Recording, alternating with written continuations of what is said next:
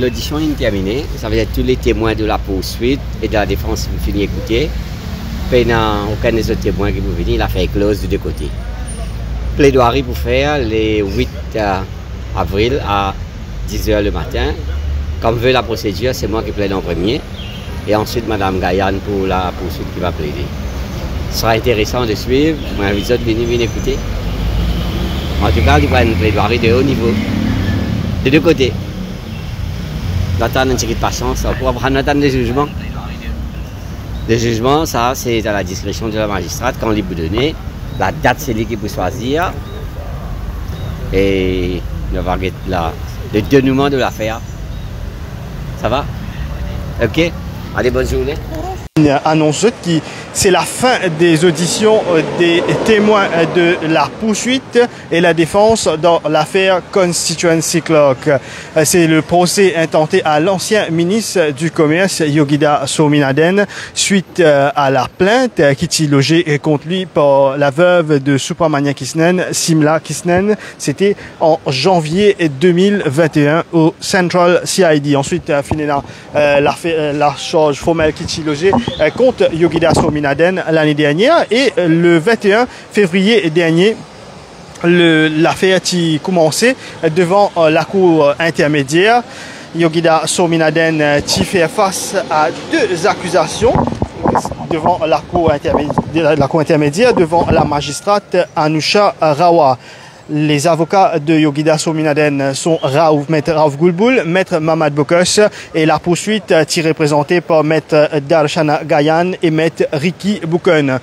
Après l'audition de huit témoins de la poursuite et trois témoins de la défense, Zodi euh, l'affaire, l'audition des témoins fin euh, prend fin et Zodi euh, le 8 euh, le 8 euh, avril prochain euh, pour, la plaidoirie des deux parties, c'est-à-dire la défense et la poursuite.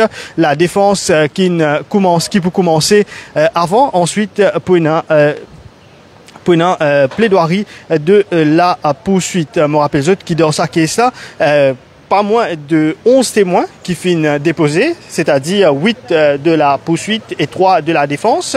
Parmi Tinaban enquêteur de la police, Tinaban, représentant du Mauritius Telecom, l'ex-clerc de l'Assemblée nationale, Safina Lutton, ainsi que la veuve de Supramanian Kisnen, c'est Simla Kisnen. Zodi est un témoin de la défense qui est entendu euh, par la cour, c'est Vidya Sukara, représentant de la Cour, suprême, Principal Court Officer, qui finit euh, soumettre à la Cour un dossier euh, de, de, réclamation au civil de Simla Kisnen à l'ex-ministre Yogida Sominaden. Un petit rappel de cette affaire. L'affaire a été, été découverte en 2020 lors de l'enquête judiciaire sur la mort de Supramania Kisnen en cours de Moka. C'était en décembre 2020. Supramania Kisnen fin une déposition. Ensuite, au Central CID, dit qui li, li fin qui l'ex-ministre Yogida Sominaden qui emploie li comme constituency clerk à son insu. Il dit qu'il est parti au courant euh, quand euh, fin emploie li et qu'il dit qu'il jamais li fin recevoir de rémunération pour sa poste-là. À plusieurs reprises, Yogida Sominaden fin interrogé under warning par les enquêteurs du Central CID.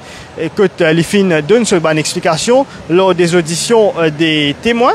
Ben, enquêteur du CCID qui fin donne, qui fin produire ben, différentes dépositions de, de, Yogida Sominaden. Écoute, dire qui le qui l'argent qui qui est destiné à Simla Kisnen, qui peut être remis à son défunt mari.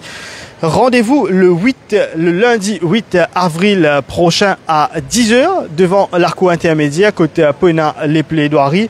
Voilà pour le résumé de cette affaire. Après, euh, qui une plaidoirie des deux côtés pour un jugement, bien sûr, le jugement n'est pas pour le même jour, il pour peut-être euh, dans quelques semaines, tout dépend de la magistrate. Merci beaucoup de votre fidélité. C'était Sheza Jadou au micro, à la réalisation, Antish Bohan. Merci et à plus tard.